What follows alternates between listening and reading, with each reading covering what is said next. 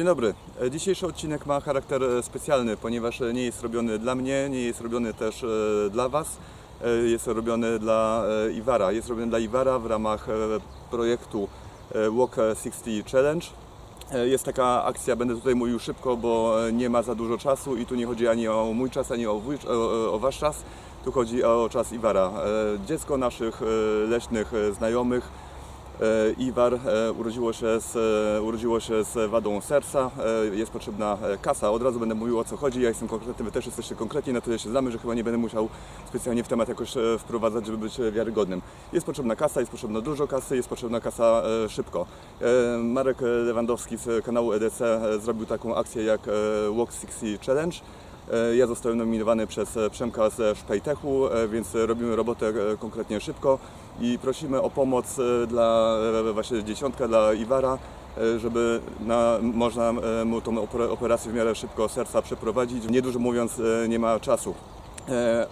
Akcja jest charytatywna, polega na tym, że idziemy sobie na spacer charytatywny właśnie 16 km i zaznajamiamy Was właśnie z tym, z tym problemem. Wiemy jak w Polsce sytuacja wygląda, jeżeli idzie o finanse, operacje i tak dalej, więc tutaj będzie potrzebna pomoc e, naszej e, społeczności, leśnej społeczności, bushcraftowej społeczności. E, No i, i, i, i- tyle. Ja idę sobie na ten charytatywny spacer, zabieram Was na spacer, nie mam dużo czasu, nie będziemy czekali aż gdzieś wyjadę w niesamowite miejsce, dlatego zabieram Was spacer dookoła komina. Jesteśmy w Pruszu Gdańskim, w moim Pruszu Gdańskim, gdzie mieszkam. E, Nie jest to Kraków, e, nie jest to Wrocław, nie jest to... e, Trójmiasto jest niedaleko, ale nie jest to takie Trójmiasto sensu stricte, które turystycznie znamy, więc zapraszam Was na wycieczkę po Pruszczu Gdańskim. Niesamowitych rzeczy, z jednej strony niesamowitych rzeczy tutaj nie ma, z Pruszcz Gdański z czego jest znany? Pruszcz Gdański jest znany z tego, że chyba najbardziej, że mieszka tu Abelard Giza, jeżeli ktoś się interesuje stand-upem, ten gościa zna. E, Jednak e, nie jest to też e, taka aż bardzo typowa sypialnia, jakby się mogło wydawać. Ten nasz Pruszcz Gdański e, znajdujemy się na początku praktycznie rzecz biorąc szlaku bursztynowego, żółtego. Czyli dla ch- chcących tutaj przyjechać z głębi kraju, wysiada się na stacji Półróż Gdańskiej, zaczyna, tam jest znacznik, taka żółta kropeczka szlaku bursztynowego, żółtego i przyprowadzi nas po śladach, po śladach właśnie tego szlaku. E, Zaczynamy od e, faktorii handlowej, która się tutaj znajdowała pomiędzy I a V wiekiem naszej ery. Był to szczytowy e, okres szczytu, jednocześnie jak to, jak to bywa i upadku rychłego Cesarstwa Rzymskiego. Jest takie pojęcie jak klif Seneki, czyli buduje się wolno, buduje się wolno, a jak ma pierdyknąć, to pierdyknie w miarę szybko. E, W związku z tym e, w Pruszczu e, znajdowała się faktoria handlowa od I do IV wieku. Był to, była to krańcówka, jeżeli idzie o wpływy Imperium Rzymskiego na ziemię tutaj słowiańskie na północ, ponieważ pomimo, że dzisiaj Pruszcz znajduje się jakieś jeszcze okolicach 20 km od morza, tak w I-IV wieku za tą faktorią znajdowała się, znajdowało się tak zwane jezioro lagunowe. Miało ono bezpośredni bezpośredni dostęp do e, morza. W związku z tym można powiedzieć, że no, Pruszcz był takim polskim portem e, 2000 lat e, temu. E, Żeby, e, żeby, żeby materiał, pomimo że jest e, szybki i e, robiony w innym celu niż e, cele rozrywkowe, e, ale czuję się zobligowany, żeby to też e, nie było tylko e, z mojej strony po prostu 5 minut e, poproszenia o kasę, e, to angażuję się, angażuję się i idziemy. Znajdujemy się, znajdu, znajdujemy się, znaczy gdybyście wysiedli z, ze stacji, to byśmy, byście byli tutaj w Pruszczu Gdańskim. Tutaj, jeżeli będzie dobrze, tutaj, jeżeli będzie dobrze widać, że zaczyna się właśnie ten e, szlak e, bursztynowy, E, nim się udajemy do i tutaj właśnie teraz w tej chwili jesteśmy Międzynarodowy Bałtycki Park, Park Ku- Kulturowy i znajdujemy się właśnie uwrót, uwrót do rekonstrukcji do rekonstrukcji tej faktorii handlowej. W mojej karierze zwiedzania grodów, na które mamy od e, jakiejś mniej więcej roku z Moniką zajawkę, e, jest to rekordowe przesunięcie się w czasie, ponieważ e, grody, ślady, pozostałości grodów, w których do tej pory byliśmy, one się datowały na mniej więcej 8, 9, 10 wiek. Tutaj cofamy się bardziej. Ta rekonstrukcja, jak już wspomniałem, pochodzi z Rekonstrukcja pochodzi z roku 2011, bo wtedy została zbudowana, odrekonstruowana, ale e, miejscówka, miejscówka, jeżeli idzie o faktorię handlową, e, kie- kiedy to żyło i działało dynamicznie, jesteśmy w wieku pierwszym do piątego mniej więcej. E, Dalej przejdziemy, no bo wyzwanie e, polega na tym, że trzeba przejść 16 km, więc e, będziemy szli dalej. E, Co my tutaj w Pruszu e, dalej mamy? Jeżeli idzie o tkankę miejską, to nie za dużo będę pokazywał, bo jest to bardzo fajna, ładna, nowo, e, od niedawna zbudowana, jeżeli idzie o zabudowania sypialnia, e, ale to nie nasze klimaty, my musimy być e, leśni i zieloni, więc e, tutaj na obrzeżach e, Pruszcza właśnie zaczyna się robić zielono i jest e, ciekawie. Dalej będziemy tym szlakiem e, sobie szyli e, i e, jeżeli idzie o Pruszcz, to bezpośredni wpływ na, na życie, na rozwój Pruszcza miało, miało to, że Pruszcz jest ulokowany e, koło rzeki Raduni. E, Rzeka Radunia, rzeka typu górskiego, e, pomimo, że jesteśmy na super północnej Polski, charakteryzuje się dosyć dużym spadkiem, zasila sz- szereg tutaj elektrowni wodnych. Ja się elektrowniami e, i energetyką jako tako żywo interesuję. Jestem mega fanem, e, jestem e, turbofanem elektrowni jądrowych, pomimo, że to kontrowersyjne to dla niektórych po Czarnobylu może być, ale jak się człowiek troszkę o tym oczyta, to, elektro, to energetyka atomowa no, jest jak dla mnie czymś magicznym. Jakkolwiek, pomimo, że stosy jądro, at- atomowe, bo elektrownia jądrowa to też e, tak naprawdę, jeżeli idzie o definicję, to są elektrownie e, węglowe, więc elektrownia atomowa e, cechuje się sprawnością w okolicach e, 35 do 40%, e, procent, a wyobraźcie sobie, że takie elektrownie wodne to jest sprawność do 90%. Jest to mega ekologiczna, ekologiczna sprawa i i aż dziw bierze, to znaczy aż dziw bierze przez nizinny charakter położenia naszego kraju. Niestety udział w wytwarzaniu prądu w naszym kraju to jest e, 1,7%. Jak wygląda dalszy plan? Jak wygląda dalszy plan? Dalszy plan polega na tym, że będziemy sobie szli tym szlakiem bursztynowym wzdłuż e, brzegów e, Raduni. Tutaj znajduje się szlak e, elektrowni wodnych wzdłuż e, tej rzeki. Więc e, będziemy, tutaj jest pierwsza elektrownia właśnie w Pruszu Gdańskim. Dalej się pójdziemy wzdłuż brzegu Raduni, udamy się do Juszkowa. Tam też jest, jeżeli dobrze pamiętam, z 1927 roku elektrownia wodna i udamy się dalej w górę rzeki do Straszyna, do zbiornika straszyńskiego, sztucznie utworzonego w latach 20. e, jeziora. E, No i to powinno pyknąć e, w okolicach e, 16 km.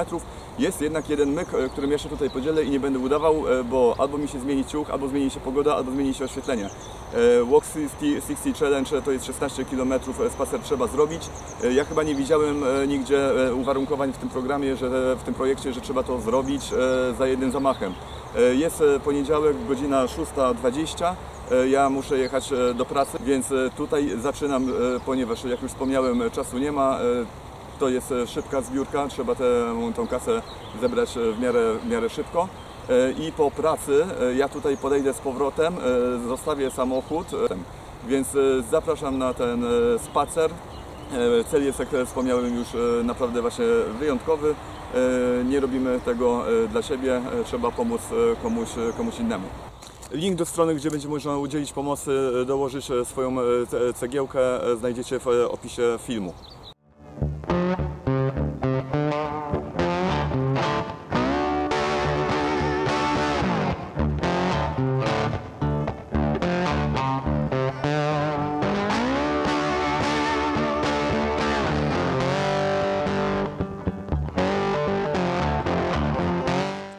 Dobry ponownie. E, Dla Was minęła sekunda, dla mnie minął cały dzień pracy. Wstępniaka rano udało mi się nakręcić, to fajnie, trochę czasu zaoszczędzone. E, Wysz, wyszedłem z tkanki miejskiej, e, idąc dookoła komina.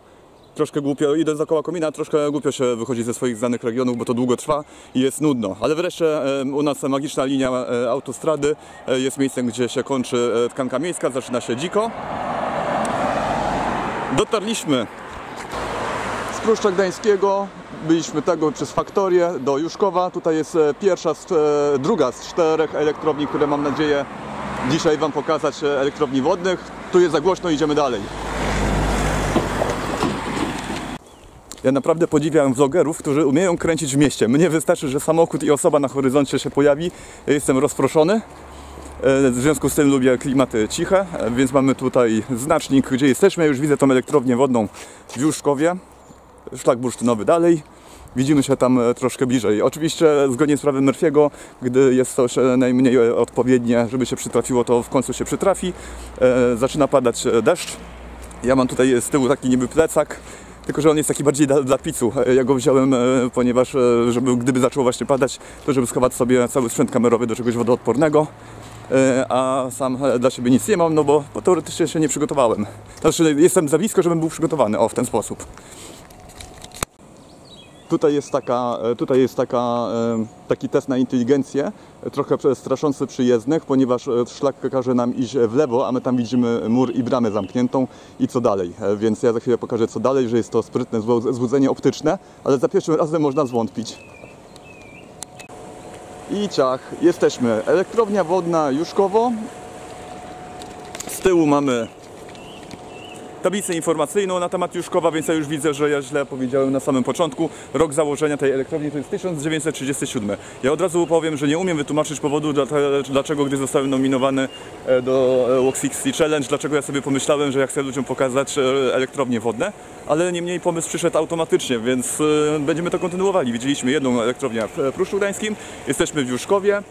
E, Będą jeszcze w, za, w zamyśle mam dwie i najbardziej fajną ostatnią w Straszynie, bo tam e, przed elektrownią jest plac z częściami takiej elektrowni wodnej, więc tak jak się interesuje energetyką jądrową, tak po drugiej stronie e, mega imponują mi budowle hydrotechniczne i w tym właśnie tutaj te turbiny, ale e, miarkujmy troszkę, mia- miarkujmy troszkę e, emocje i pokażę Wam o co chodziło ze złudzeniem optycznym.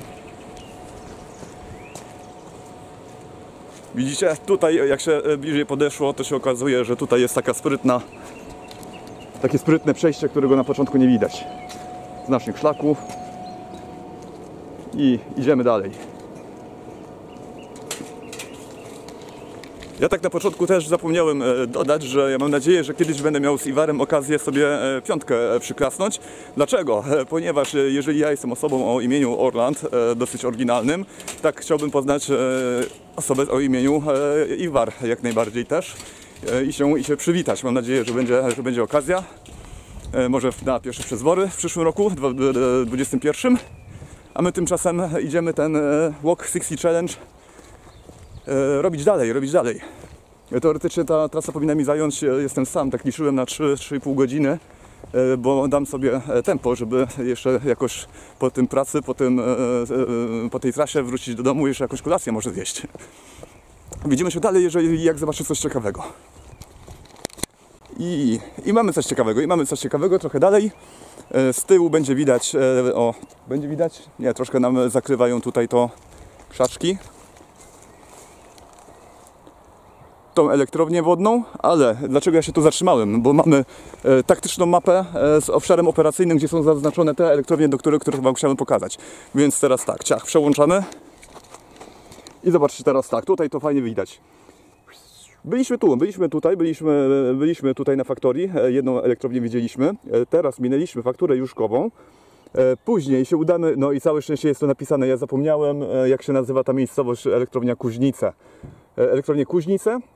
E, Dalej mamy elektrownię Pędzieszyn. E, Nie wiem, czy będzie mi po drodze, po szlaku tutaj iść. E, W każdym razie końcem i puentą tego, tej wycieczki będzie elektrownia Straszyn. Tam wiem, że jest fajna wystawka zrobiona, jeżeli idzie o, o urządzenia hydrotechniczne. Pokażę Wam dwa, dwie, dwie niesamowicie gigantyczne rzeczy, które gdy pracują pod wodą, to tego nie widać, a to jest naprawdę, jest, jest, jest, jest moc. I tutaj mamy o, jezioro Goszyńskie, zawsze myślałem, że ono jest Straszyńskie. Takie sztuczne jezioro, które powstało przez spiętrzenie wody e, przez elektrownię Straszynie. No pogoda cały czas straszy, cały czas e, kapie, więc, e, więc e, ja e, pędzę, pędzę dalej, tym bardziej, że jest już popołudnie. A wiem, a wiem, że chodzi tutaj o czas, o czas tej e, zbiórki e, tych pieniędzy. Ta sprawa nie może czekać, dlatego ja też nie będę czekał e, na jakieś lepsze warunki. Ja to dzisiaj chcę nakręcić, jutro najdalej zmontować i posłać w świat. E, Poprosić właśnie Was o pomoc, e, jak e, resztę naszego bushcraftowego środowiska. A już widziałem, że niesamowite rzeczy e, da się w ten sposób zrobić. Sam bym nigdy nie uwierzył, ale, ale byłem świadkiem. Krótki postój, rany jak ja sobie e, to zadanie wziąłem, e, postawiłem naprawdę zadaniowo. Pędzę, postój, pędzę, postój, fa, e, fo- fotka, fotka, fotka, jedziemy dalej. To co widzimy tutaj to jest właśnie ten spiętrzony zbiornik Zalew w Wiwuszkowie. Co jest fajne, to tutaj sobie tacy my, tacy mieszkańcy Pruszcza i okolic możemy, możemy skorzystać w okresie letnim z kajaków. Tutaj sobie da wynająć kajaki i do tej elektrowni Straszynie popłynąć.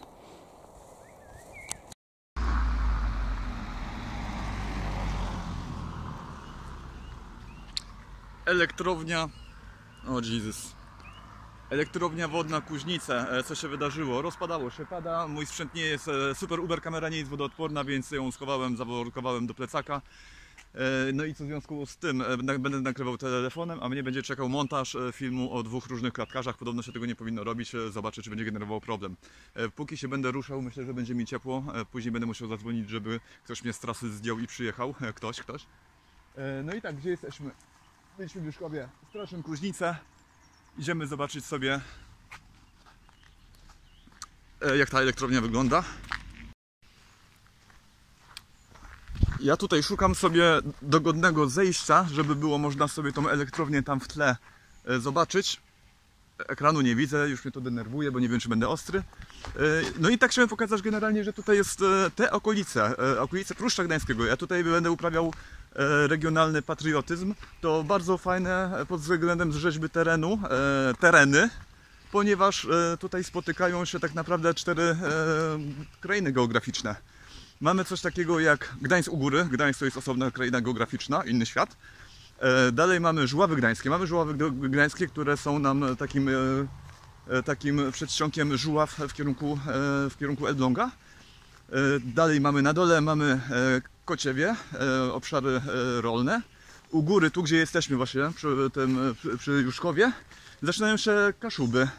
I od razu e, górzysty, morenowy, pofałdowany klimat. Więc dla każdego coś fajnego. Jadę na rower, nie chcę się spe- spe- specjalnie wspinać i mieć przewyższeń. Wybieram żuławy gdańskie z tymi niesamowitymi ala menonickimi domami, domami podcieniowymi i właśnie tymi tą architekturą kultury holenderskiej, która się tutaj nam ładnie rozgościła, e, gdy uciekali przed prześladowaniami. Dany tutaj jest problem cały czas, żeby znaleźć dogodne z A, ale już jestem na miejscu, więc olać zejście chyba się udało. Więc e, region do mieszkania jak na sypialnię to Prusz jest naprawdę e, petarda. E, Bardzo fajne miejsce. O, jesteśmy. Jesteśmy. Znacznik szlaku, taki jak ostatnio przy jeziorze otomińskim, bo to jest ten sam szlak, e, oznacza się, że jesteśmy na odgałęzieniu szlaku. Kurde, weź ostrz. Że moja kamera nie jest wodoodporna. E, I to jest właśnie taki fajny wskaźnik, że jest to odgałęzienie oraz, że jest to koniec odgałęzienia. Nie mamy gdzie więcej iść, e, czego szukać, ponieważ e, tutaj odgałęzienie się na tym kończy, czyli PTTK chciało, żebym ja tutaj stanął i pokazał, pokazał tą naszą e, elektrownię. O, tam jest jakaś tablica informacyjna, no to korzystamy, idziemy.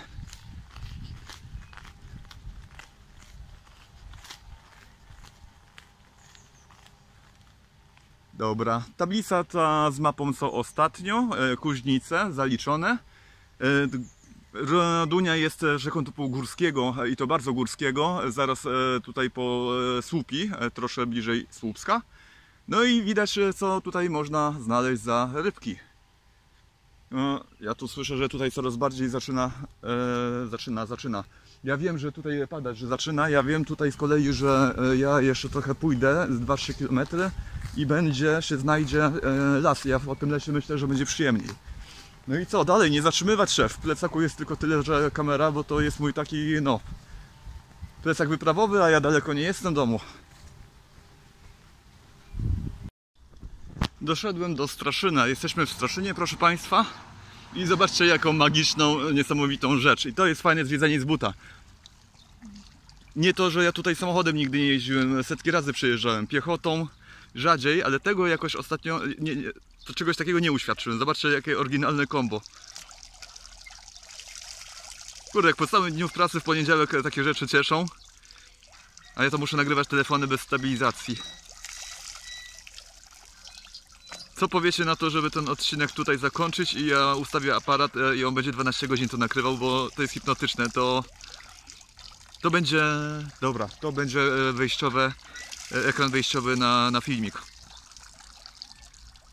Zdjęcie trzeba zrobić. No, fajne, fajna rzecz.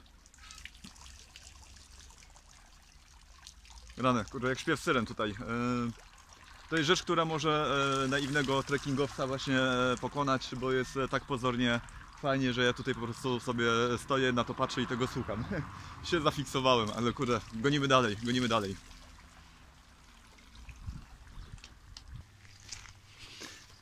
Dochodzimy do powolutku. Ja ten, ja chciałem troszkę więcej nakręcić rzeczy z drogi, jednak rozpadało się całkowicie, leje. Ja nie chcę ryzykować, żeby mi się jeszcze telefon zalał, jak już z kamery nie korzystam.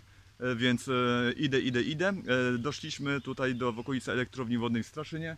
Mamy tutaj fajny znacznik, że jest coś ciekawego jak na odejściu z tego szlaku. My tam odejdziemy, ale ja Wam chciałem pokazać wcześniej kapitalny, fantastyczny, fantastyczny widok na na murowaną kaskadę, gdzie jest spuszczana woda, jak tam chcą coś uregulować tam wyżej w tym zbiorniku straszyńskim. Więc nie wyłączam nagrywania. Brak stabilizacji, sorry. E, Przejdziemy do fantastycznego widoku. O, zobaczcie tam. Tam jest ta murowana kaskada. Nad kaskadą jest, e, jest mostek. Więc wygląda to petarda, przekozacko. Dobra, taka kolorystyka będzie chyba fajnie to oddawała. A my się zbliża, idziemy, zbliżamy już do elektrowni. Tam ją, o, tam widać taki ładny zameczek. A tu chyba będzie jeszcze ładniejszy widok.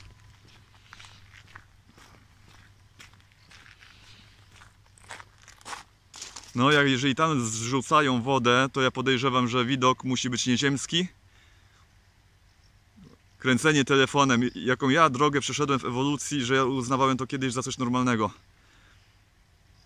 To musi być naprawdę wrażenie, jak oni tutaj e, spuszczają tą wodę e, z tego zbiornika i tutaj się leje. O, i tutaj widać, widać zabudowania elektrowni Straszyn. Idziemy, idziemy dalej. Znowu chwilę się, e, tr- troszkę się stanęło i tutaj jest chłodek wtedy, czyli nie możemy się zatrzymywać. Elektrownia wodna Straszyn. Ja nie wiem, czy słyszycie w tle, pewnie będzie słychać ten dźwięk. To jest dźwięk pracującej elektrowni i ja nie wiem, dlaczego ten dźwięk ma na mnie e, działanie kojące. Dziwne, e, dużo dziwnych rzeczy ma na, na mnie działanie kojące, bo przykładowo kilkanaście lat temu to sobie ustawiałem e, na muzykę w tle dźwięki silni, e, silników Warp ze Star Treka i też uważałem, że są bardzo e, kojące.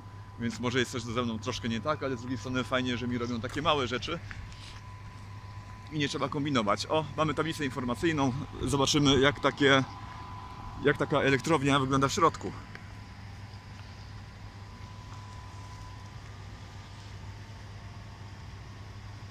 Tutaj mamy turbiny, informacje gdzie jesteśmy. Więc jak widać, ach, przyszliśmy sobie stąd dotąd plus powrót, więc mi się będzie liczyło. Takie rzeczy. Teraz chodźmy zobaczyć, teraz chodźmy zobaczyć. E, teraz chodźmy zobaczyć jak e, te turbiny wyglądają na żywo, ponieważ tutaj e, z tego co już dobrze wiem, bo tutaj byłem, jest kapitalna wystawka takich właśnie wnętrzności elektrowni. Robi, robi wrażenie, robi wrażenie skalą przede wszystkim. I to jest to. Jesteśmy tu, gdzie chciałem Wam coś pokazać przy zajawce na elektrownie wodne. To co zobaczymy, to co zobaczymy, to są bebechy elektrowni wodnej, e, jej serce, e, jej e, turbiny, turbiny.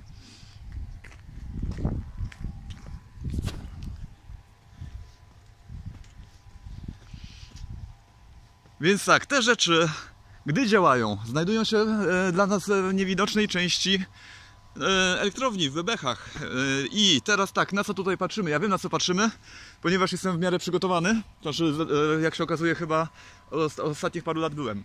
E, To znajduje się e, urządzenie, tak To należy jako, to, to się nazywa turbiną Francisa. Francis wymyślił tą turbinę w 1848 roku.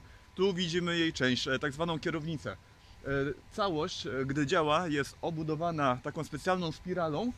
Po kolei części wody wchodzą e, przez wchodzą tutaj elegancko do środka i kierowane są do wirnika. Jak wygląda taki wirnik? Otóż proszę Państwa, wirnik wygląda w mniejszej postaci w ten sposób. A w większej postaci